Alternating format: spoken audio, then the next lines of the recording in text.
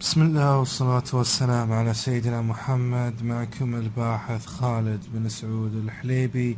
إن شاء الله راح نتكلم عن هذا الدرس عن تقسيم عديدات آه، الببتيد طبعا آه، عديدات الببتيد تكلمنا عنها مسبقا. آه، تكلمنا عن البروتينات والببتيدات وطريقة تخليق البروتين في الدروس السابقة والبروتينات تتكون من خلية تتكون في الخلية بواسطة روابط تساهمية آه، تسمى روابط بيبتيدية وعند الاتحاد حمضين أمينيين يفقد آه، الهيدروجين مجموعة من الأشياء مثل الهيدروكسيل وتكلمنا عن أشياء يعني كثيرة في الدروس السابقة تقدرون ترجعون ترجعون لها في دروس البروتينات والبيبيتيدات. أيضا لو بنقسم آه، آه، عديدات آه، البيبيتيد إلى قسمين راح نقسمها إلى قسمين. سلسلة أول قسم سلسلة بها أقل من عشرين حمض اميني تقريبا. والسلسلة الثانية بها أكثر من عشرين حمض أميني تقريبا.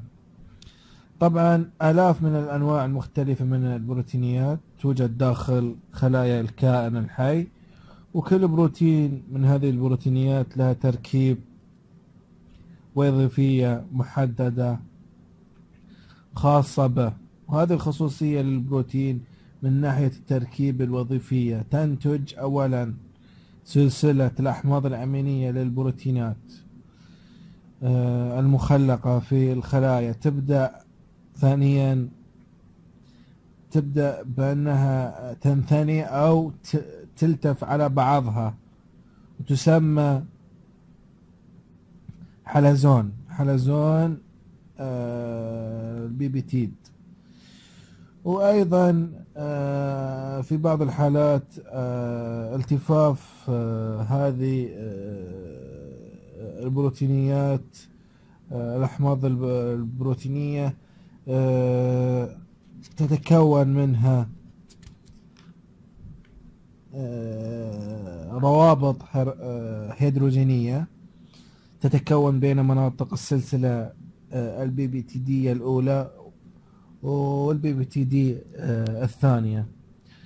طبعا تركيب آه، يحصل آه، تراكيب كثيرة جدا بالرغم من إنها التركيب الثاني للبروتين. يحتوي على ثلاثة أشكال اللي ذكرناهم في الأمور السابقة.